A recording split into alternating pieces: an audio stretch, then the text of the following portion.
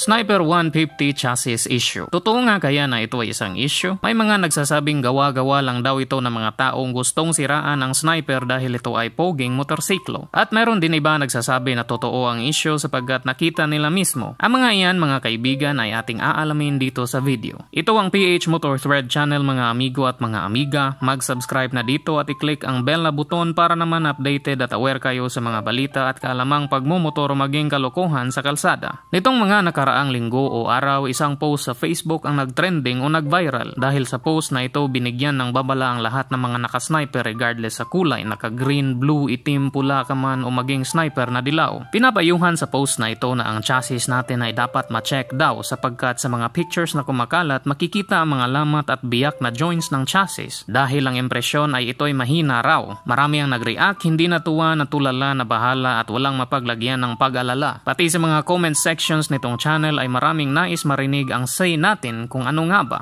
Ang dami at ang kulit nila kaya naman mga paps at mga mamshies ang pananaw ko patungkol sa issue na ito ay heto na. Unang-una para sa akin ang kumalat na post online ay one-sided o sa ibang termino ito ay shady. Sapagkat nag-post ka ng nasira na motor at picture subalit hindi mo naman na-mention kung saan ka galing noon o anong ginagawa mo sa motor o ilang kilo ang load mo o anong klaseng kalsada, rough road ba o hindi o maging saan at ilang kilometro ang iyong biyahe. Maraming loopholes ang post, pati ang riding style nung nag-post wala man lang mention mga pre. Mapapatanong katuloy, yung nag-post ba maingat ba siya na driver o isang kwalipikadong nagpapakahinete? Kung magpo-post ka lang naman sana, aba ay dapat kompleto ang iyong detalye. Hindi sa hinuhusgahan ko yung nag-post nito, ito ay akin lamang pagbabaka sakali. Maaring ito nga ay totoo at maaring ito'y hindi. Pero bakit mo naman gagawin ito kung hindi nga naman totoo? Brand war, uso pa ba yan sa ngayon mga pre? Siguro ganito na lang, itrace na lang natin ang kasaysayan ng motor na ito o ang kanyang history. Kung pag-uusapan naman ang kasaysayan, simula noong kapanganakan ni Sniper at hanggang sa kasalukuyan, wala pa namang napapabalitang nagkaroon ng ganitong karanasan. Maliban na lang nitong taon na mayroong nag-post at nag-trending na mga larawan. At ito rin ay na-share sa almost lahat ng pages sa Facebook na maraming nanonood kaya ito ay mas lalong pinagpiestahan. Dahil dito, maraming sniper owners ang hindi mapakali at kinabahan. Dahil nga naman sa mahal ng presyo ng ating motor, sino nga bang hindi manghihinayang kung ganoon nga ang katotohanan? Pero kung mapapansin ninyo bakit itong mga nagtitrending sa Facebook ay pabalik-balik ang mga larawan. Hindi ba pwedeng ibang picture naman? Kasi kung big issue ito, simulat sa poll ay marami na sanang larawan o negative testimonials ang naglalabasan. Nakakaduda lang lalo pat itong mga pages na nagpapatrending nito ay ang kanilang mga motor ay iba naman ang brand. Kaya naman ang iba ay talagang nag-imbestiga at ito ang kanilang naobserbahan. Nang sinuri nila ang kumalat na larawan kung saan ang chassis ay naputulan, nadiskubre nila na kaya pala naputol yung chassis doon sa trending na post ay dahil may isang bolt na nakaligtaan. Kung mapapansin ninyo sa larawan ng naputulan, yung bolt na konektado sa makina at frame ay nawala o parabang nakaligtaan. Kumpara dito sa normal lang at walang biyak na chassis, ang bolt ay nandoon lang. Pag wala kasi itong bolt na ito kapag nalulubak ang motor, hindi stable ang bagsak at ang chassis ay sa bigat ng motor animoy iduduyan. Kaya mga kaibigan, kung magche-check kayo ng chassis ay itong bolt na ito ang inyong pinakaunang titingnan. Especially doon sa mga kapapagawa pa lang doon sa mga mekaniko nilang pinagtitiwalaan. Nagtanong-tanong din ako sa mga mekaniko dito sa aming lugar at ang sabi ay isolated o rare case daw ito sapagkat sa tinagal-tagal na nilang nagkukumpuni ng sniper na motor, wala naman silang nai-encounter na